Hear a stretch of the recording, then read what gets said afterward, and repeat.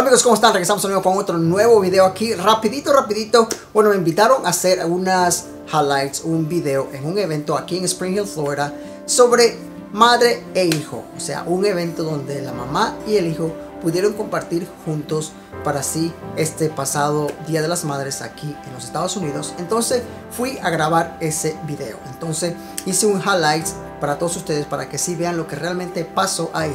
El video que van a ver ustedes fue grabado con dos cámaras. Una fue grabada con el Canon uh, M2, también montada en el Glidecam 2000, que es el profesional, el Pro.